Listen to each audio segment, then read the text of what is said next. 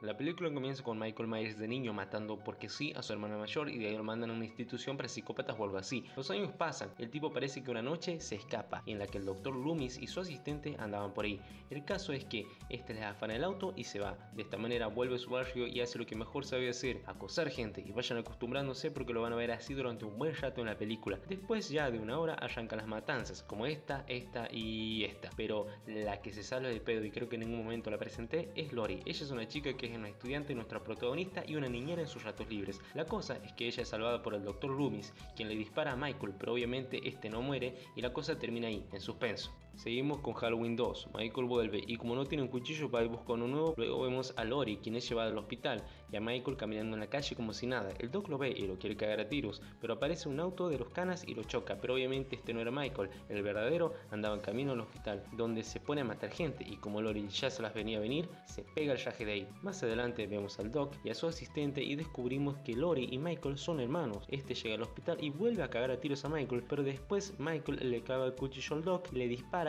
y el Doc, ya jugado con todo, abre unas garrafas de gas y hace explotar todo, obviamente dándole la chance a Lori que se yaje de ahí. Michael sale todo quemado y a Lori la llevan a otro hospital. Pasamos a Halloween 3. Aquí la cosa se fue a la mierda porque no tiene nada que ver con Michael Myers. Es más, ni siquiera aparece aquí. Se trata de unos científicos que ponen unos chips en una máscara, enloquecen a la gente, matan y etcétera. No, no tiene nada que ver. Básicamente son científicos locos. Así que pasemos a Halloween 4. En esta cuarta parte Michael estuvo en coma por 10 años. Aquí nos enteramos que Lori está muerta, pero no nos explican por qué. Pero lo que sí nos enteramos es que Lori tuvo una hija. También vamos a descubrir que el Doc sigue vivo de pedo. Él ve que la ambulancia de Michael tuvo un accidente, pero obviamente el Doc sabe que no fue tan así. Ahora Michael se pone a matar gente y va a conseguir su máscara de por ahí. Pasamos a ver a la sobrina de Michael, quien va y se compra un disfraz y aquí es donde se encuentra con su tío, pero después desaparece. El Doc llega al pueblo en la noche de Halloween para advertirle a la cana y al resto de las personas porque saben que esto no es joda. Entonces nuestros protagonistas se esconden en una casa. Pero la cagada es que justo Michael estaba en esa casa. La sobrina de Michael sale de ahí y llega el Doc al rescate y se llevan a la niña, pero no contaban con que Michael se les apareciera por debajo del auto. Mata a estos tipos que iban ahí, pero después la que va manejando se calienta y lo choca. Después llega la cana y entre todos lo cagan a tiros. Después parece que todo ya terminó y que están a salvo, pero no. Nos damos con que lo de ser psicópata viene de familia porque vemos a la sobre de Michael que acaba de matar a una persona. Halloween 5 nos encontramos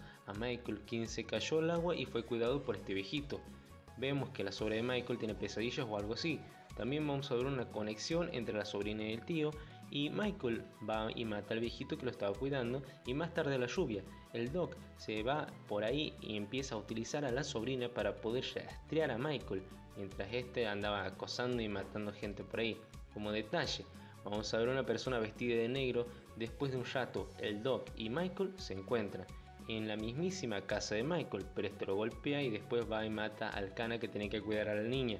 Pero después de tantos quilombos, el Doc improvisa una trampa y atrapa a Michael. Y este termina en cana. Pero ¿se acuerdan de hace rato que les hablaba de un tipo misterioso que aparecía de negro? Bueno, este va y hace un quilombo de la concha de la lora y libera a Michael. Pasamos a Halloween 6. Una mujer está dando luz y el bebé termina en una cosa onda ritual satánico. Una mujer le ayuda a escaparse, pero la matan en el proceso. Esta toma un teléfono y llama, pero debido a las intensas lluvias las líneas no funcionaban, pero quien sí alcanzó a escuchar fue el Doc, pero ya es demasiado tarde. Más adelante descubrimos que la bebé que nació fue Jamie, la niñita de la película anterior. Y encima resulta que este tipo que está aquí es Tommy, el chico a quien Lori cuidaba cuando era más pequeño, en la primera película. Después nos damos con que una familia vive ahí, en donde era la casa de Michael.